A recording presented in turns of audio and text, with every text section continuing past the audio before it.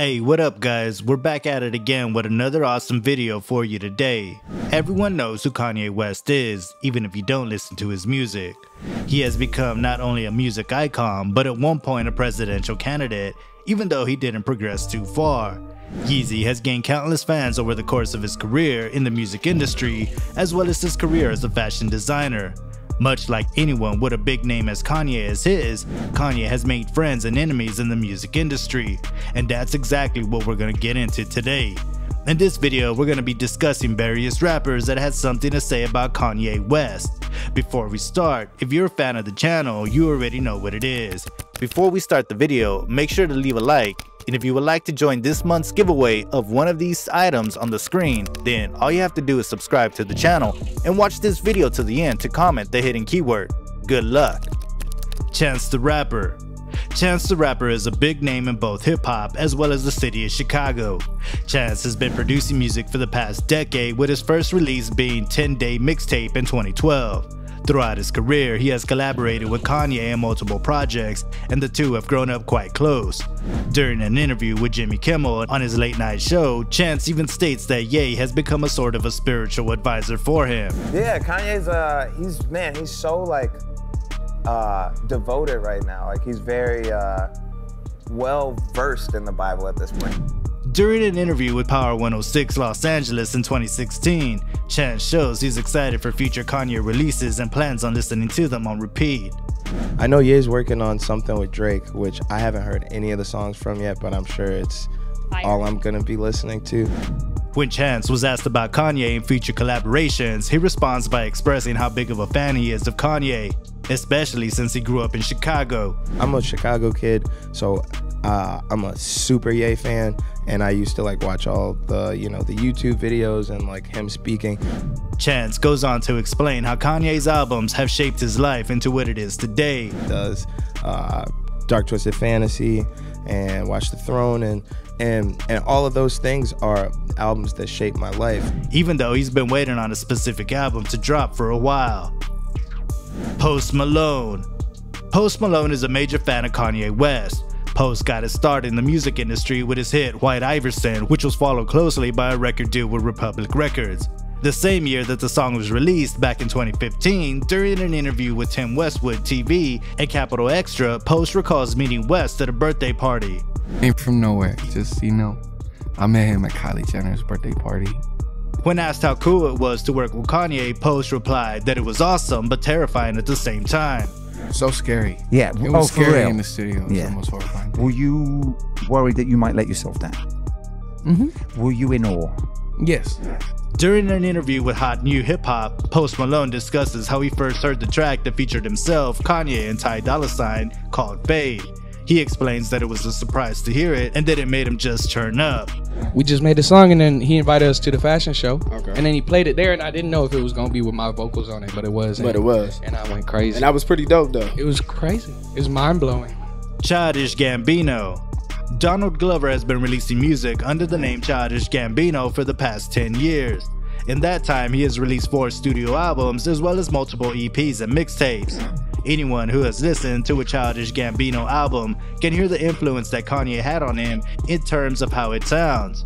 In an interview with Fuse in 2013, Gambino expresses how he's always been a fan of Kanye. I always, I mean, like, I always thought he was a genius. I love, I think he's like the best. He even goes so far as to say that Kanye is a prophet and that he excels in great things outside of just his amazing music not even just like on music level. I don't, I don't, I try not to just be like he's a musician or like he's a rapper or like that because I think that's that holds people back. I think he's just he's one of like he's like a prophet. Childish Gambino claims that people like Kanye West push you to be better and to work harder to move people forward. I think it makes people want to be better, to be better and work harder and push all of us forward. He also believes that people's opinions of Kanye hold him back instead of letting West do what he wants to do. It's kind of sad that people don't let him do what he wants to do because I think he could help us a lot. Jay Z. Jay Z is one of the biggest names in hip hop and a major influence on new artists. It shouldn't surprise you too much that being as big as he is, and Kanye being just as popular, the two have become close over the years. During an interview with David Letterman on his Netflix show, My Next Guest Needs No Introduction, Jay Z mentions that he and Kanye have a brotherly relationship. That's my brother. It's, we, we're beyond friends. Really, like literally, my little brother is Kanye. He mentions that though the two disagree on some things, he and Kanye will always be cool and always be close. And like your little brother, things happen sometimes. Jay Z continues to mention how he has watched Kanye from the beginning. He says he respects Kanye and believes that West hasn't changed as a person and that it is an honorable feat in his eyes. You know, I've watched Kanye from without an album. Like his the thing that I respect about him is he is the same person. When asked if Kanye would sit down and have a talk with Letterman, Jay Z responds with a 100% and claims that Kanye West is brilliant. Would he would he sit here and chat with me? Oh, 100%. He's, Yeah. he's brilliant. Joe Budden. Joe Budden has one of the strongest opinions in hip hop and is always ready to speak his mind when it comes to criticism. There is a trend with his podcasts and interviews that we can see whenever they begin to talk about Kanye West. It's pretty clear the pump it up rapper doesn't like Yeezy too much, and he has never been shy about letting us know that. In an interview that he did with Chance in 2018, they begin discussing how Chance thinks that Kanye is the GOAT. Joe was quick to express his opinion of Kanye, which is that he's been in a steady decline lately. I feel like he's been on the decline for a while. And I feel like album that I I feel didn't like like you clearly know that too. Joe even goes on to say that if Chance didn't have his name on five of the tracks on Life of Pablo, it wouldn't have been worth hearing, and believe that Chance knew that to be a fact, even if he wouldn't admit it. If I take your way. verse off of Life of uh, Pablo, like I'm good. yeah, like come on, Chance, give it up. Like part of part of part of brotherhood is being able to keep it a buck with your family, with your kinfolk. No, In an episode of his podcast from 2020, Joe talked about how he felt about Kanye's presidential campaign. He claims to have no problem with his musical abilities, but when it comes down to it, Joe believes Kanye is more self serving rather than giving back. I have zero problem with his his musical genius, mm-hmm. his talent there. But on quite a few occasions, he has shown the ability to be more self-serving than than us serving. Joe then went on to claim that he felt that he was being very divisive to the minority vote by the way he was acting during his campaign. Because he has a relationship with Trump, he's gonna trump it out. And it's nasty to me for black people as a whole when you are that divisive to the minor- minority vote. Logic. Budden isn't the only one who was talking about Kanye's political presence and his views. Logic dropped the album titled Everybody in 2017, and it features the track America. In the song, you can hear Logic's opinion on Kanye meeting Trump and sharing his political views. In an interview with Hard Knock TV, Logic discussed the track with Nick Huff Barili, and he explains that despite what people think, he loves Kanye. you know, talking about Kanye, who first and foremost I love and idolize. Kanye is amazing, he's incredible, he's a fucking genius, and I wouldn't be here without him. He then continues to say that he said what he said in the song based on what he felt at the time.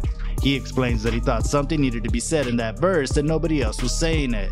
I just felt I was looking around and wasn't nobody saying what needed to be said. Logic then once again says it's all about the love with Kanye. He just felt like he needed to speak up for what he believes in. So it wasn't. It's not hate. It's not that. It's like it truly is love. I'm literally just saying I'm gonna say what Kanye West won't. You know, this isn't about your music. You're a fucking genius.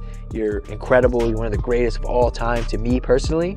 Um, but I'm gonna say what you're not gonna say. Common. Common is an older head in hip hop, making his debut in 1992. His first album was named Can I Borrow a Dollar, but he didn't reach critical acclaim fame until his 1994 album Resurrection.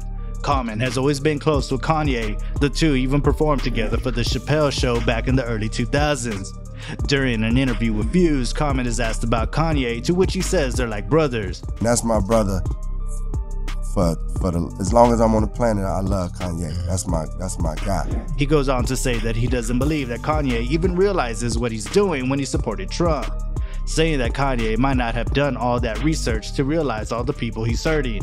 I think he did never really did a, like a diligence to know all the things that Trump was doing, or even if he had, he wasn't weighing the fact that man, all these things that Trump is doing, you might like him for these reasons, but mm-hmm. man, do you understand the people that's being hurt? Common can't help but reiterate that no matter what, wherever Kanye is and whatever he's doing, he loves him and they're like brothers for life. You know, wherever he is right now, I still love him as my brother, Yeah. but I never agree with him. Tyga. Tyga and Kanye West have more in common than just their love for hip hop. Both dated a Kardashian at one point. That's not how the two became close though. Tyga and Kanye spent a lot of time in the studio together, and Tyga thinks that because Kanye clicked with him as a person. I think it's just something that's been growing for like the last couple of years um, with Kanye. Like even in the studio with him, like when he was working on his album, he was working on Yeezus, and you know what I'm saying, albums like that. Just in the studio and just being around, and I think uh, I think Ye just fuck with me as a person. Tyga continues to mention that Kanye's opinion is one that he holds in high regard. He really values what he has to say. He's somebody that I I definitely value what he says. He compares Kanye's genius with other great musicians like Pharrell and Lil Wayne when it comes to the lyricism, saying that he groups Kanye with his other idols that are still living. You don't meet too many people like that. Like they give you that type of feeling. Like Pharrell's another person that's like a genius to me. Uh, like Wayne, lyrically, you know what I'm saying? It's like a couple people that I really like idolize that are still living. With a name as big as Kanye West, as well as a fan base the size of his, you'll not only have people who love you, but you will also have people who love to hate you. As always, though, it's great to see the bonds form between various artists and how their bonds can affect their music. How you feel about Yeezy lately? Be sure to let us know in the comments section. That's all for today's video. Thanks for watching, and as always, be safe out there. We out. Hey you, yeah you, you like the video? Great, we got another one for you that we guarantee you'll like. And all you have to do is click on the screen. It's free and without any hidden fees, but you have to click on fast because this message will self-destruct in 5 seconds.